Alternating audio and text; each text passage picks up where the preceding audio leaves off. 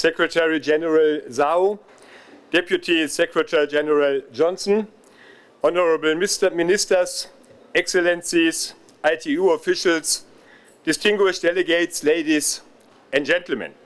It's a great honor for me to speak on behalf of the German government at this plenipotentiary conference. First of all, I would like to thank Romania for the very warm welcome here in Bucharest, the great hospitality and all the work you have done to make this conference to a success. On behalf of Germany, I would also like to congratulate Mrs. Doreen Bogdan Martin for being elected as Secretary General. Good success and all the best of you, Doreen. Ladies and gentlemen, I would also like express Germany's full solidarity with Ukraine. We condemn the ongoing destruction of telecommunication infrastructure and violation of international law and the UN Charter, which undermines international security and stability. Ladies and gentlemen, since the last plenipotentiary conference in 2018, the German federal government has undertaken several key measures to foster digitization both in Germany and abroad. Just recently, the German government adopted a new digital strategy and as part of it, a gigabit strategy. With these strategies, we aim to promote first, a connected and digitally sovereign society, second, an innovative economy including work, science, research and learning, learning, and third, a digital government.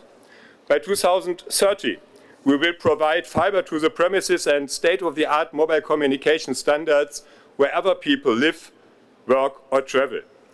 For this purpose, telecommunication companies based in Germany plan to invest 50 billion euros in the pri private deployment of fiber networks while the gigabit strategy is providing appropriate framework conditions for them.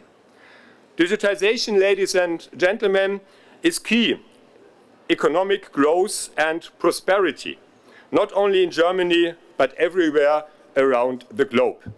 When we live in an interconnected world, however, digital connectivity has not reached a level to ensure inclusion and to bridge the digital divide.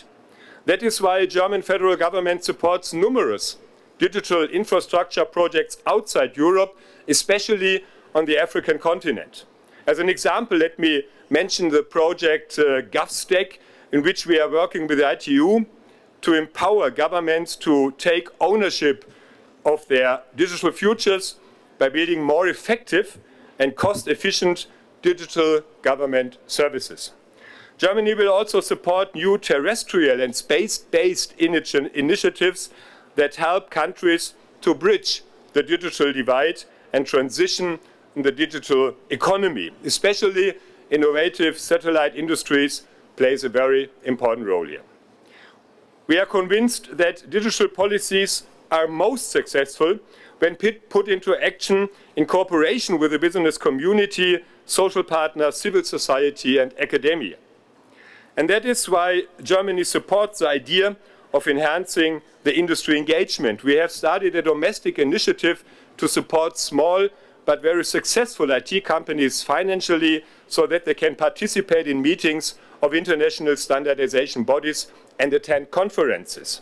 Almost 40 Germany-based companies, network providers, manufacturer service providers, academia and research institutes provide technical know-how to various ITU standard groups.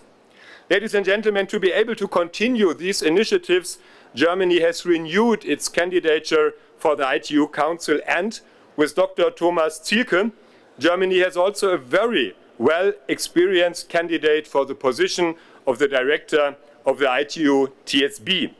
Thomas' goal is to strengthen cooperation with other standardization fora and to make participation in the ITU more attractive again, in particular for SMEs. ITU's technical expertise is globally unique, so let's do everything to keep it in that way. As a solid and reliable member, we will help finding workable solutions. that are acceptable for all members, solutions to resolve issues efficiently and based on consensus to benefit of all members of the ITU.